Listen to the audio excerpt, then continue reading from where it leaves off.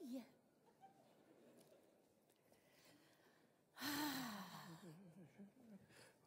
Nej, hej Hanne. Hej. Hold da op, du er tidlig på den, hva'? Ja, det er sådan et dejligt vejr. Ah, men det er så skønt, så skønt. Ja, ja. Og jeg, vi bliver to i dag. Nå, hvor hyggeligt. Jeg har inviteret min nye svigerdatter, Camilla. Nej, Camilla. Gud, jeg har slet ikke åbnet endnu. Jeg åbner lige en gang. Nej, den nye svigerdatter. Det er spændende, hva'? Ja, det er det. Det er meget spændende. Vupti. Og hvad siger du? Skal du have et glas kølig hvidvin? Jeg skal have et meget stort glas køligt hvidvin. Det skal du få. Og så tror jeg, vi skal have nogle starter. Du plejer at have sådan noget lækker spansk noget. Ja, vil du hvad, jeg har en skøn serrano med noget chorizo. Så. Oh, det er rigtig godt. Ja. Yeah. Og forresten, øh, Camilla, Ja. hun, er, hun er vegetar. Nå, det er ikke noget problem. Nej, nej, nej, ved du hvad, I laver bare sådan en tortilla. Du ved, en spansk æggekage med lidt kartoffel. Så. Du kan bare det der. Ja, men det er det, jeg kan. Sådan der.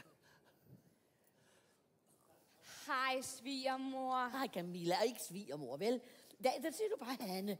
Ligesom to veninder, der er ude i byen og lærer hinanden godt at kende, ikke? Ja, Så er der lækkerier.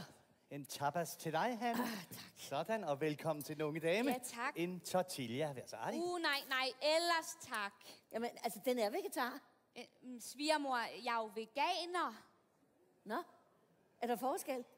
Ja, ja, kæmpe forskel. Øh, Vi rører intet animalsk overhovedet. Ja, som honning og ost og slet ikke æg. Øh, Vi vil jo gerne undgå, at dyr lider overlast, ikke? Lider overlast? Jamen, hønen skal vel af med det æg.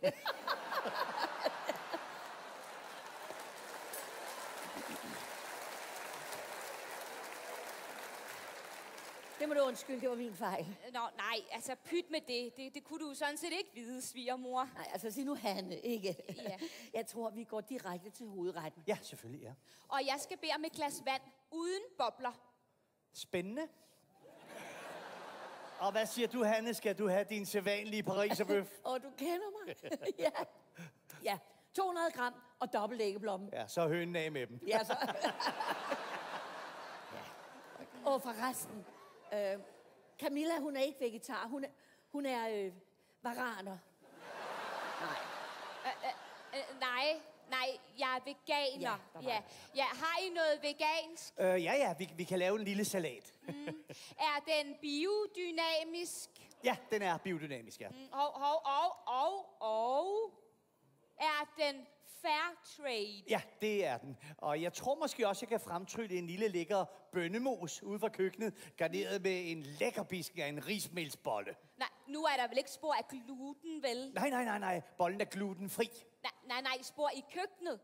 Hvis jeg får mad tilberedt i et rum med gluten, så reagerer jeg bare omgående, altså. Du godeste Gud. Øh, nej, det, det er ikke noget problem. Jeg, jeg finder ud af noget. Godt. Er det ikke svært at huske alt det der, du skal undgå? Nej, nej, overhovedet ikke. Nej, du skulle da virkelig prøve det, svigermor. Mig? Ja. Nej, tak. Jamen, det er super godt, hvis man har tendens til uren hud og vand i benene. Efter jeg lagde kosten om, der, der har jeg simpelthen bare fået mig et helt nyt liv. Nå ja, det har Morten også. Morten? Mm. Jamen, han er jo ikke af øh, af det der. Jo, jo, det er han. Og, og han er næsten helt afgiftet nu. Gud, har han været syg? Ja, altså siden spæd. Hvad? Hvad?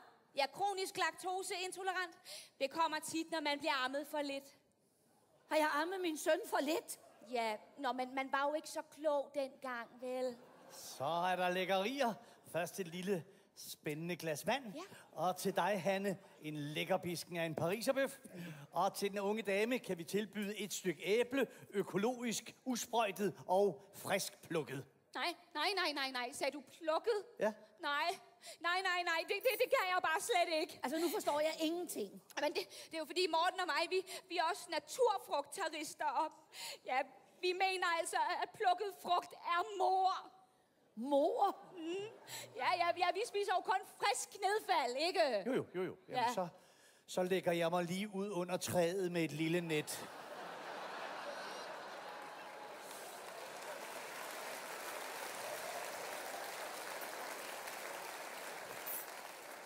Hvorfor har Morten ikke fortalt mig noget?